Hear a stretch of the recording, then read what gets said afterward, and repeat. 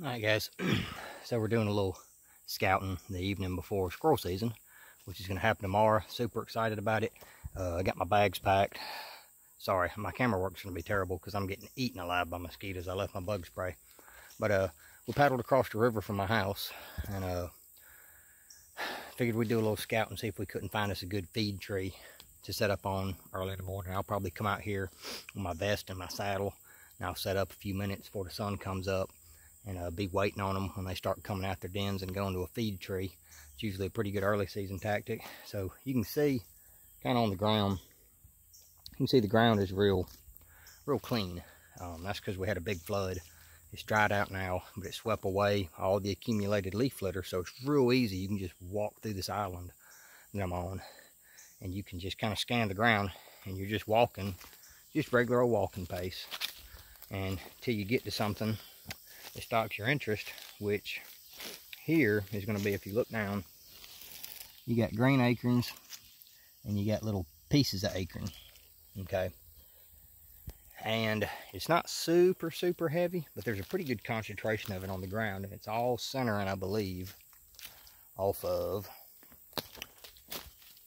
this tree, all right?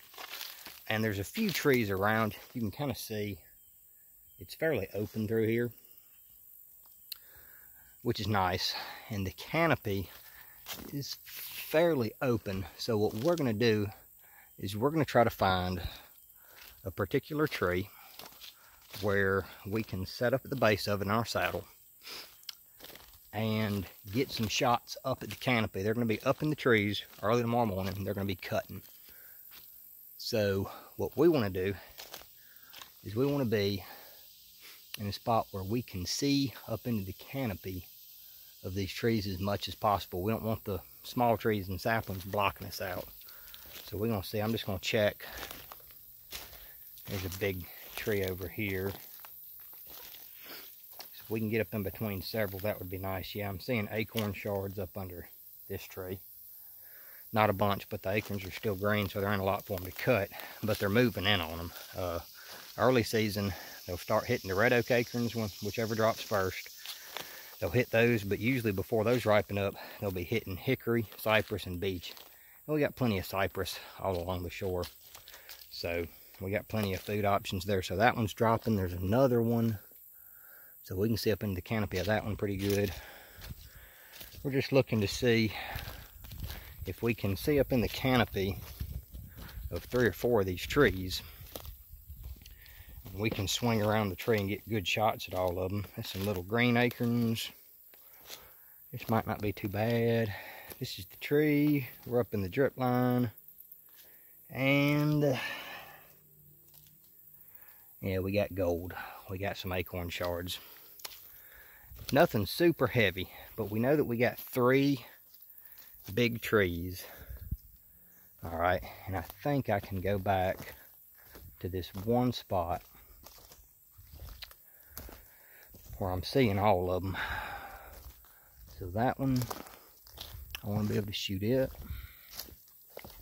And we got a maximum effective range of probably about 40 or 50 yards. We're going to be shooting uh, actually some pretty cool loads. I lucked out and found their uh, number five, uh, actually like Remington Nitro pheasant loads or something like that. So that's going to shoot pretty good out of that gun really.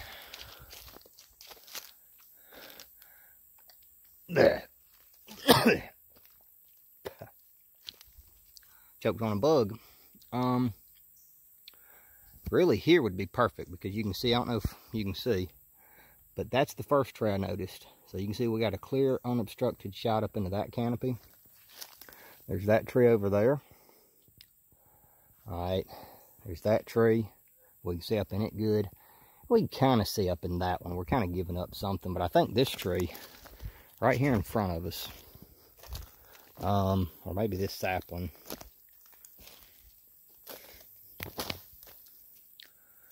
I think I think we're going to tether off with this sapling. Do us a little preliminary clearing. We want the ground. It's going to be perfect, but we want it fairly clean up around it so we can maneuver. So this is good. We can see up into that tree. We could probably get a shot up in there and we can see boom, boom, boom. We can see three good sized big oak trees. And uh, we're gonna sit here until we make enough ruckus or shoot all the squirrels. We're gonna sit here until it slows down. And then what we'll do is we'll start working that way. We'll just start working uh, the perimeter of the island. It goes and it stays as high ground for a few hundred yards. But I don't think really if you're lucky on an opening day set like this, these squirrels ain't been bothered. I'm gonna be the only person out here harassing them. So hopefully this should be easy money to come out here tomorrow and as long as we remember to bring the bug spray, we should be able to come out here and kill a kill a limit of these jokers and be out of here before the woods heat up. So what I'm gonna do, I brought some trail markers and all I done is just stuck them the edges of my wallet. I just need a few. I'm gonna mark this tree right here so I can see it and set up on it good. And uh, I'm gonna mark just for giggles. I'm gonna mark the base of the main tree I intend to be shooting so I won't forget when I come out here the next morning. And tomorrow should be a massacre. I don't see any squirrels right now in the evening, but it is hot. Um, and I am a little bit late. Usually they move. It seems like there's a 30 minute to an hour period before dark that they move. Man, I got skeeters everywhere. Uh, they don't they don't move like deer do right at dusk and right at dawn in my experience. Usually the squirrels come out and about the time the squirrels leave, the deer come out. So, but we're gonna uh, we're gonna mark this stuff so we can come back to it easy. We're gonna hit them in the morning.